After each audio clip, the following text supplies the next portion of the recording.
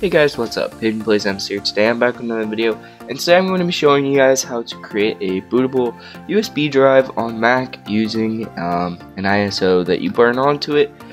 So we're going to start out with um, just simple USB, nothing on it. Um, make sure you guys don't have anything on it because the process will delete any files you have on it. Smooth everything off for the time being. Um, it is reversible, so you can just move the stuff back once you're done. So anyways, all we're going to need is terminal. And we're going to need to put in uh, three commands, and then we'll be all good. So the first one is going to be disk util list. It's just going to tell you what disks are on. So for me, my USB is dev disk 2. Um, yours could be 3 or 1. Actually, probably not 1. Maybe 3, maybe 4, depending on if you have uh, another hard drive or another USB installed. So just make sure that you find the right USB drive that you want to use. So the next thing is going to be disk util unmount disk slash dev slash disk and you put the number of yours in. So mine's 2, so I'm going to put 2. It's going to say it's successful.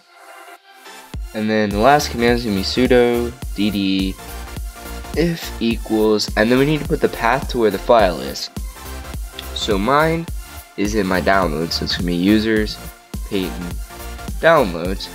So we're gonna put users Peyton downloads, and then you need to put the file name that we're gonna burn on. So I'm gonna burn on Arch Linux, which is for the GPU fix. If you guys have a bad GPU in your MacBook, I will put the link to the video down below.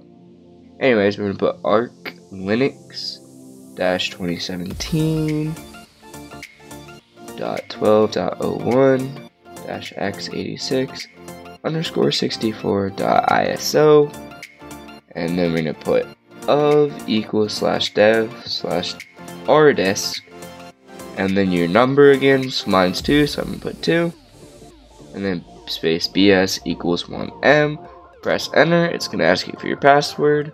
Just type that in. And then it's gonna start doing its thing. This could take a couple minutes as it is mounting an ISO onto USB to make it bootable so don't worry if it takes a couple minutes. Um, so I'll catch up with you guys once it finishes booting um, or putting the ISO onto it. It'll create a little pop-up. I'll show you guys what that looks like. Alright guys, I'm back. So this is what it's going to look like. It's going to come up with a little warning that says the disk you inserted was not readable. All you're going to do is click on ignore and then you can go about and reboot the computer and all will be well. Um, if you want to undo the process at the end, all you're going to do is click on initialize, and then it's going to bring this up, and then you just click on um, erase, and that will erase it and put it back to normal so that you can use it. But all you guys want to do is click on ignore, and then you can come into Apple and you can click on restart or shut down, and then you boot up holding option, and it's going to pop up, and that's all you have to do. So it's actually really simple, just three commands in terminal. It's completely reversible if you guys need to use the USB afterwards, but if you need to create a bootable USB drive, this is how you do it. So if you guys enjoyed the video, please leave a like. If you haven't already, please subscribe. And I'll see you guys in the next video.